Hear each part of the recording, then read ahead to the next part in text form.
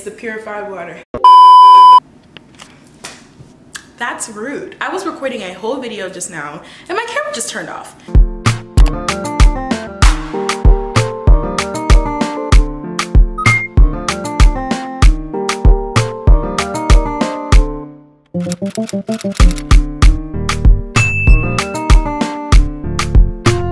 Anyways, hey guys, it's iGloria back with another video in my new apartment. Whoa, whoa, whoa, yeah, yeah. Don't worry, I'll bring a whole room, apartment tour, whatever thing for you guys to see our furnished apartment. It looks really, really pretty right now, but I'm almost done with my room. Once I'm done with my room, then I could go ahead and show you guys um, my space and things like that. But that's not what this video is about. I had some feelings. I was like, God, what kind of video should I record today? Because I really feel like chatting. I feel like I'm in a good mood. And so today's video is about to be on unpopular opinions, Christian edition. I've been meaning to do this and I'm really, really excited. Actually, I'm missing something on this area. How could I film without such? Am I crazy? You cuss, you know, you gotta always rep your say. Necklace right here this necklace it was gifted to me by the dear blessed afrique boutique. You guys already know the shebang. If you haven't gotten your own blessed afrique boutique necklace what is it that you're really doing with your life? I think i should sit. I think i should stand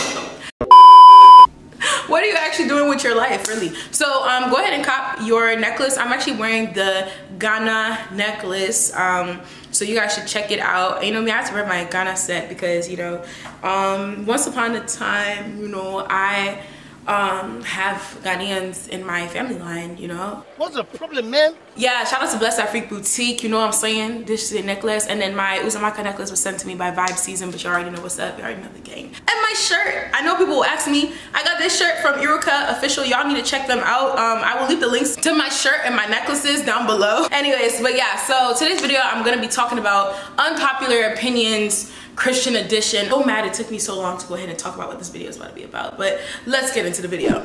Cool. I decided, you know, I wanted to take my time and write it down because I want to start off by saying that um, a lot of times, oftentimes, this is, I guess this can be considered an unpopular opinion. Oftentimes, many Christians do not know how to have their own personal, um, you know, opinion on things. The things that I say are things based off of my personal opinion. If you want some like, like, you know, revelation as to how certain things are done and all that extra stuff, go to the Bible. Read your word. Get revelation for yourself, ask the Holy Spirit, because at the end of the day, all of this is a personal walk with God, and that's that about that as far as that is concerned. Anyway, that's that about that as far as that is concerned. My first unpopular opinion is as a woman, we do not live for marriage. Oh my God, what? But I feel like growing up, um, a lot of the advice that I received as a young girl has always been geared towards marriage um, or preparation for marriage. Okay, and that's not like anybody will tell you you live for marriage. No one will open their mouth and say that because that even sounds weird, right? But it's just that's the foundational thought I guess I would get from them. from most lessons that they would gather us young girls around to talk about. So yeah, I don't believe that women were made solely for marriage. Um, second unpopular opinion, the church isn't your problem, but the esteem you held the church to. And I, oh. That's your problem. I feel like a lot of people walk around blaming churches and organizations and all the left and the third. Truth be told, my dear, I feel you. I feel you like the person next to you. The entire church feels you. Let the church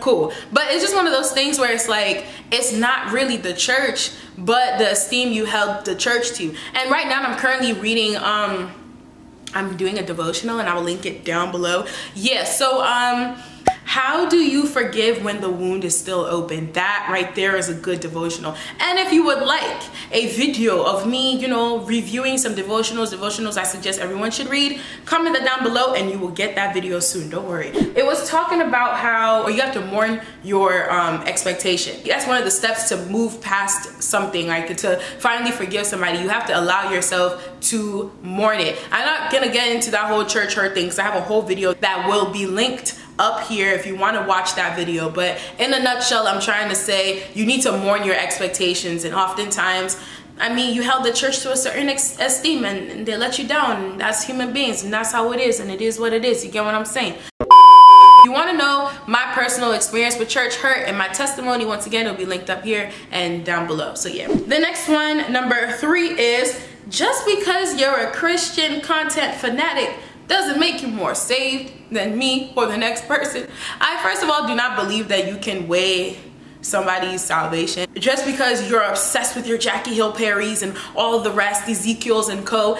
I don't know. For me personally, I wasn't really into the whole Christian content creating stuff. I'm not gonna hold y'all. Some of y'all be blowing me. I'm not gonna hold you. But it's not that I don't like Christian content. I'm just not a fanatic. So I'm not gonna be like reposting every last thing that Jackie be posted. Like she's cool, but I don't I probably hear something from Dimma Umeh before I watch something from Jackie. That's just not any shade, but I just, I'm not a fanatic, so yeah. And it doesn't make you more saved because all the people you follow are Christian content influencers. That's great, but yeah. That's your interest. Next one is, I believe this is a fourth one, this is for women. Women in church aren't given much options. Um, I think that's, yeah, I feel like when it comes to how we should dress, our purpose, the conversations we hold aren't really it's not really that many options and mentorship options aren't really that great either um so let me be honest with you outfit outfits right this idea of i mean i heard overheard something like oh no off the shoulders or like you know um I mean, I personally have my own reservations about certain outfits, but there's just certain top outfits I'm like, okay, like, a relax. Or this idea women should not wear pants. Like,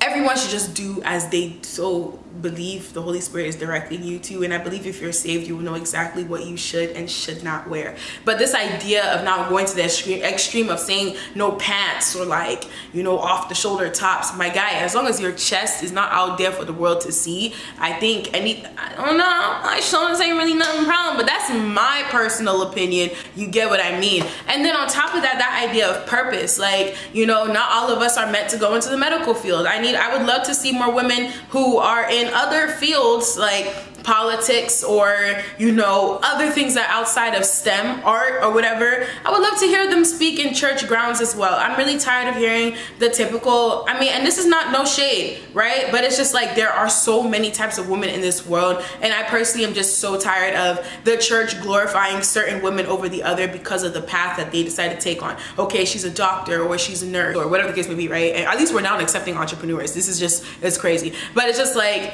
okay and like she's married and she has kids she's the iconic christian woman to look up to but it's like it, let me let me challenge you a bit. We live in a world where like feminism see feminists are really like like ruling this world right now. And granted right i'm really here for female women empowerment. That's really what i stand by. But i'm not here for bashing men either or bashing men's um, position and things like that. And i feel like sometimes people tend to miss the two. I would consider myself an african feminist or a complementarist something i learned in africana studies 213 shout out to dr susie okoro. But um yeah so i learned that at the end of the day i am the kind of woman that is fighting for her space. I'm fighting for there not to be any boundaries on me. I'm not interested in being a man or doing as men do.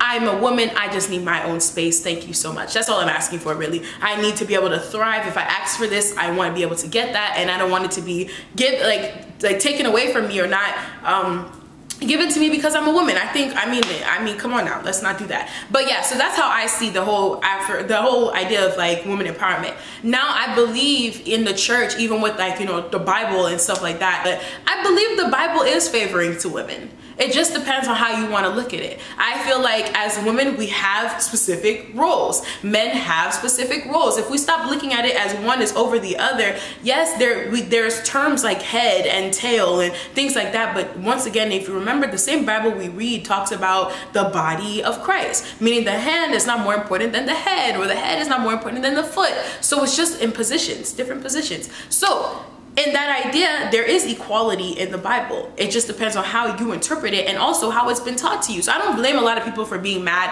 at the church for how like women not having options because I also feel like sometimes people in the church fall prey to this belief of women are literally under men, but we hold so much value. You can see it from the beginning with Eve. So it's it's it's very it's very it's very interesting how I see things. But anyways, so I just want to say like you know we have a lot more purpose out here. We have a lot more women doing things, and I would like to see that representation in the church. Also, what what else did I say? Conversations. Okay, listen. I'm tired of gathering in huge circles. It's one thing to be with your friends and always talk about guys, but then it's another thing to be in a huge circle with women that you don't really talk to on a regular basis to now talk about men. Like, come on, like men are probably talking about all these other things and we're here talking about marriage and like relationships and why don't we challenge women a little step further to talk about other things such as like, you know, um, woman empowerment. Careers talk about content creating or creativity or our insight our thought on this. Like let's talk about it you know? So let's talk about sexuality. Let's talk about these things in church. But it's like our conversations if it's solely just marriage and we want to keep believing that people are not doing tins outside it's i'm sorry let it's harsh reality harsh truth but the, the times are changing. So and i don't believe i don't believe we should not mold into the times. But what i am saying though is that god i believe has placed before us plans. If the word is truly a living word this word still is very relevant in today's time. So i believe we need to dig a little deeper. Dig a little deeper. Um, okay but we need to dig a little deeper when it comes to like the things that we are teaching us young women. And it's like imagine seeing these things online and it's like you still hold on to your your beliefs you still hold on to your values the things you've been taught and they've been you've been guided through but you don't have anybody willing to get into those conversations with you and guide you without rebuking you. And then mentorship.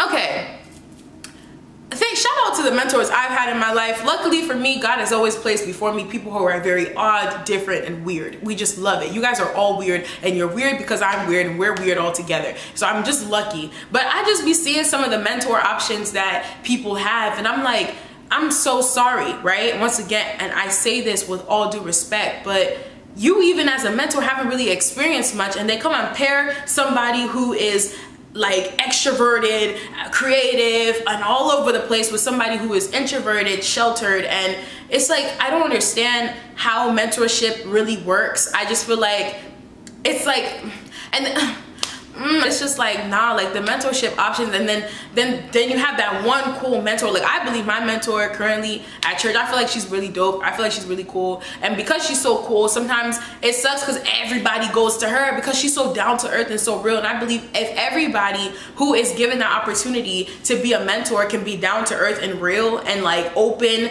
and like truthful because y'all were all once our age at one point. Why try to hold yourself to some false esteem? Like granted though there are some people who i genuinely genuinely feel like your life just wasn't like that. Something like the idea of like boy crazy and da da da da like that just wasn't you. And I know so many people like that. But it's like, but why does it seem like there's so much more people who were like that even though I know, man, I grew up with you. You can't come and tell me you weren't like that. I remember you. Stop it. What? You ain't that much older than me. Your TV on the streets. So let's not, let's just be honest with ourselves here. Anyways, next opinion. Um, it's not cute to go off to school and forget about church.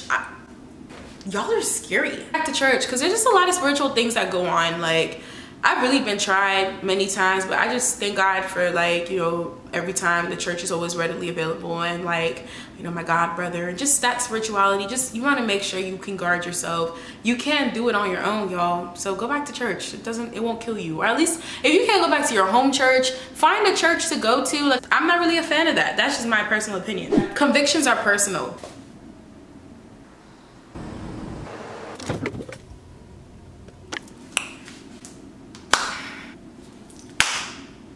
Convictions are personal. Um, the Lord told you something, you can share it, but um, he told me something too. As long as you're ready to hear what I have to say, that's all. Anyways, I'm never gonna get into that. Just because someone left your institution, your church, does not make that person a sinner. I feel like each church has an assigned demographic that they are supposed to feed and, um, you know, serve. That whole idea of judging somebody because they left your church, my guy, like, really, in this pandemic? I'm saying all this stuff and um, I used to be one of those Christians, so that's why I'm sharing my opinions now. I've grown a whole lot since then, but I do say like, bruh, if you're still like that, I'm telling you, Don't flatter yourself. There are a lot of churches out there. Anyways, uh, number eight or nine, whatever number it is. How much you serve does not dictate your salvation. Oh my God. I'm sorry.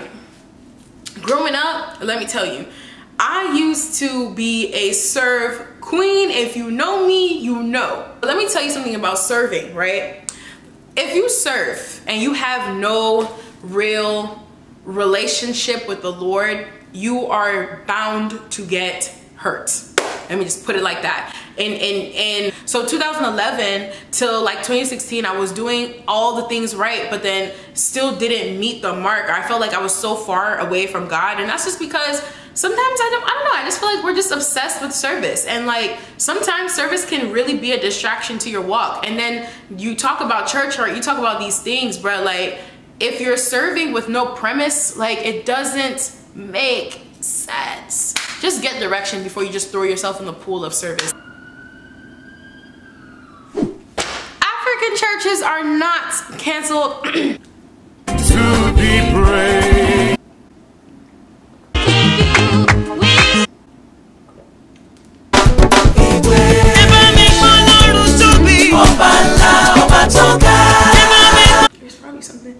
It's the purified water. No, there's really something no. Like I just I don't understand. African churches are not canceled. Me, I was singing oh I told you about love. Really though, there is no way.